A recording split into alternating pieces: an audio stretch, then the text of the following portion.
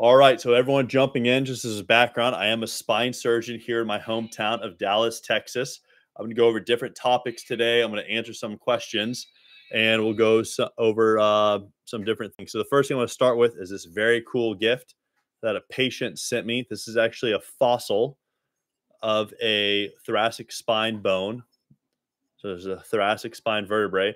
It's a fossil of a black bear found in Russia and she sent this to me all the way from Montana. The patient was from Montana. She found me on this platform, uh, flew down, met me in office. Interesting story behind her, but I'll share her story more over the next couple weeks, next couple months. Um, but anyway, I kind of like starting this model because this is all we're talking about today. You know, this is a thoracic spine, but it's the same thing for uh, cervical and lumbar. Where if this is the spine, kind of looking at it this way, here's the bone in the front. When you feel these bones in your back, this is the spike or the bone you're feeling and then if you look down the tunnel, kind of right there, this is where the spinal cord comes out. And then at the edge, where my pin is right here, those are where the nerve roots come out.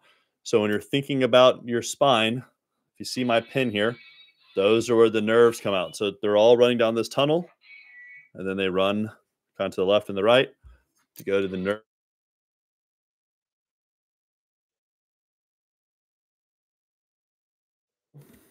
With that being said, I'm going to do one more thing here. Um, again, spine surgeon here in Dallas, Texas. I'm going to go over different topics. Okay, so it goes bone, spinal canal, tunnels coming off the left and the right side.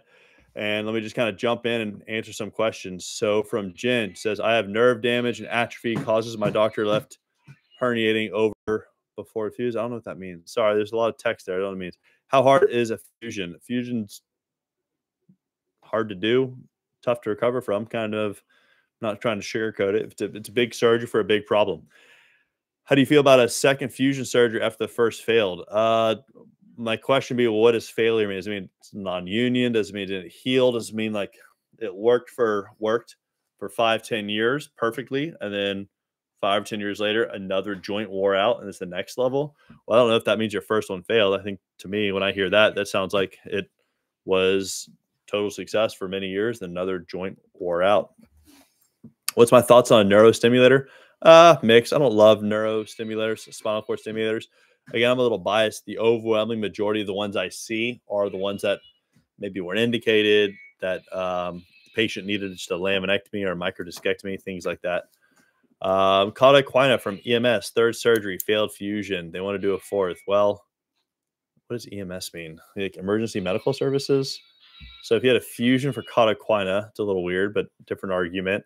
And then to say you had four, well, if you really had cauda equina, it's a surgical emergency. So you should be, not you should be, but you could be happy or fortunate they're trying to save your bladder function because if cauda equina is a surgical emergency, that's like saying you fell off a ladder and had a spinal cord injury. You've had to have multiple surgeries since then. So it's a traumatic injury. So just making sure I'm understanding the terminology there. Um, uh, question from Lori: What? I'm rewording this a little. What post-op medications do you do after spinal surgery? I usually do a narcotic. It's either Norco, Percocet, Oxy. Kind of depends on what the patient needed in the hospital. I'll do a muscle relaxer. I usually use Robaxin, and I will use. I'll have them get a stool softener, and I'll also prescribe Zofran.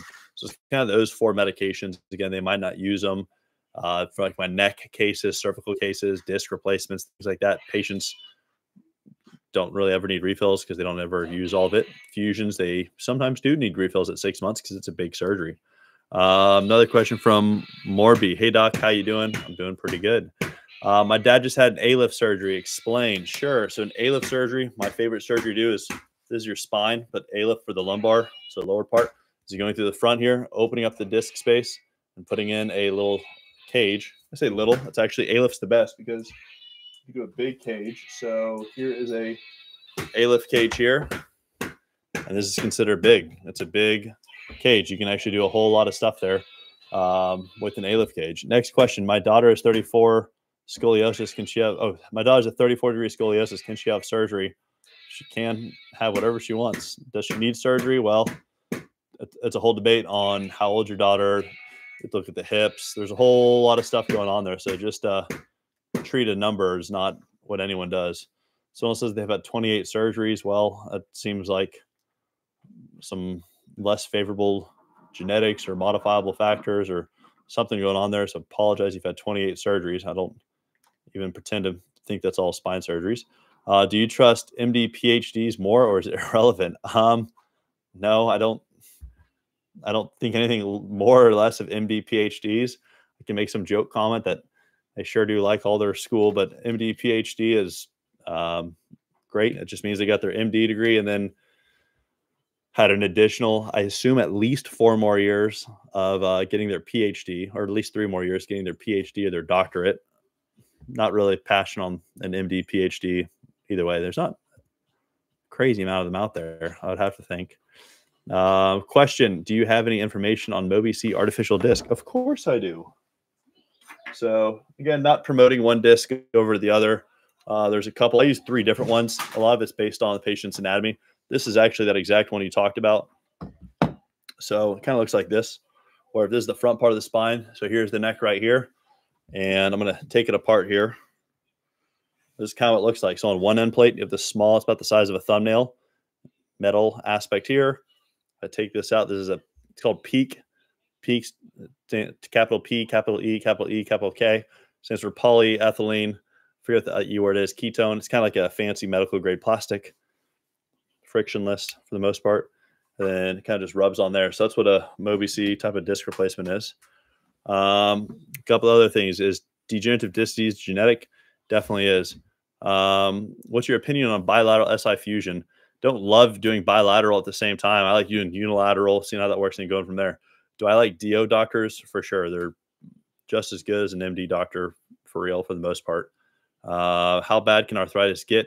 I've had about three to four years now. I don't exactly know how to answer that. I guess it's not great. You don't want arthritis, but um, it's okay. A couple other questions here. Uh, Donde está, doctor? Where are I? Where am I? I'm in Dallas, Texas. This is actually my hometown. Born and raised here. Uh, left then for about 10 years, 11 years in a way, to go do additional training uh, all across America. But now, fortunately, I'm back home in my hometown. Uh, what do I think about the TikTok ban? Uh, I'm kind of surprised. I didn't think the TikTok ban would actually come to be, and I guess we still have a week left. But I like TikTok. That's kind of where I first grew my social media presence. If it's banned, well, I still do YouTube live all the time, as you can tell. And then I'll probably just switch my other live to either Facebook, maybe Instagram, uh, and there's other platforms jumping up, and we'll just see. Uh, what do I think about endoscopic spine surgery from Blank? I like it. I don't love it. I think most of it is patients are going to be seeking endoscopic when maybe they either don't need it or they might be traveling across country or even sadly paying cash when you're comparing an incision the size of a pinky nail versus the size of a thumbnail for a lot of those things. The endoscopic incision is at minimum eight millimeters. And if you use a micro disc, like microscope, bring it in, that can be a 16 or 18 millimeter. So uh, again, there's people you can Google them, and they've made entire careers taking cash payments for endoscopic spine surgery. I talked to one guy the other day. I can't remember where he's from. I think South Carolina. I'm operating on him in a couple weeks or a couple months, and it made me really annoyed. He traveled all the way to Florida, and he had two. And before anyone asks, this is not with Dr. Cantor. I think highly of him, but he had two endoscopic spine surgeries with someone else in Florida over the span of a week and the guy paid $23,000 for the surgery. And he said the doctor told him it would take him a year to recover, or sorry, a year to notice the results. The patient said he didn't feel any worse after surgery, never felt better, but never felt worse. And it was $23,000. And the doctor said, Well, you're not going to feel good for a while. You're not going to notice the results for a while. It's going to take six months to nine months because of how nerves grow. And, you know, I was pretty blunt with this patient as he was telling me that, being like, That's some of that's just shenanigans. And I didn't like that. So anyway, now I'm doing a real spine surgery on the patient. Um, but again, patients like pain cash. They like endoscopic. They like, you know, they think if you pay cash, it's better for some reason. That's not always true. So that's my honest thoughts on it. Um, I like it in general. I've done some. My partners have done some. It's just kind of there. Uh, a couple other questions here. I have anterolisthesis. What's your thoughts? Um, that's my favorite condition to treat if you need surgery. That's where it goes bone bone disc, bone disc, and anterolisthesis is where one bone slides forward on the other. That could be either be from a pars fracture, So we get a fracture on the back or significant joint arthritis. So if you get significant arthritis in your back, it could lead to instability of the bones where one bone slides forward on the other. You lose this disc height, comes down, squeezes that nerve, numbness and tingling down, moving over here. Uh, a couple other questions I'm getting to. What do I do for degenerative disc disease as moderate? Really, just activity modification, anti-inflammatories, physical therapy. Um, there's not like anything you have to do or need to do unless it's causing you weakness or permanent disability. What's a laminectomy? That's a good question. Let me use this spine model. Not promoting this from Demo Spine. One of my buddies, I guess we're buddies now, sent me this model, but from Demo Spine. And the best way to show you, trying to do this, it's not super work for me to fix this again. Uh, hold on. It should be easier to separate. Am I messing this up here? Hmm. All right, fine. I'll just do two levels. So laminectomy, again, if this is the spine, looking at it from the side, pretty much just removing this lamina right here, just like that.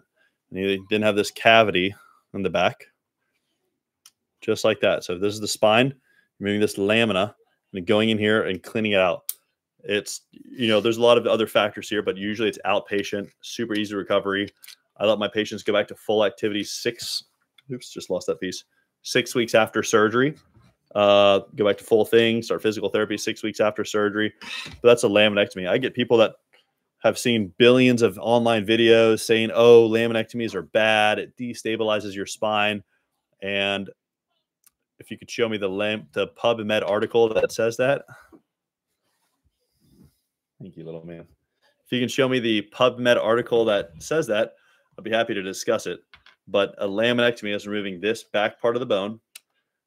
I've done laminectomies from L1 to S1 on people, and you know we're able to avoid fusion. So a lot of people are afraid of laminectomies, which always kind of blows my mind. But just moving past that statement, and they're in terrible condition.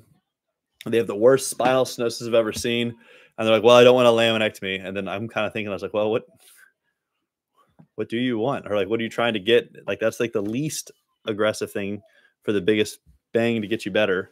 Uh, but that's essentially what a laminectomy is. Just moving this part here. You can. I probably have patients in this chat here. They're gonna tell you like, "Oh, you did a laminectomy on me. Never been better." You go to my Google reviews. You go online. You go to my comments on things, and people are like, "I traveled from North Carolina. I had a, a laminectomy, got my life back." So laminectomies are great. There's some videos out there that say the laminectomies aren't great, and they are. So just right here, taking out this lamina, this back part here. It's a very good, it's a very reliable way to treat the spine. So that's why I like doing laminectomies. That's why I like opening up this part of the spine. And it's a good way to avoid a fusion. That's why I do use that ultrasonic bone scalpel.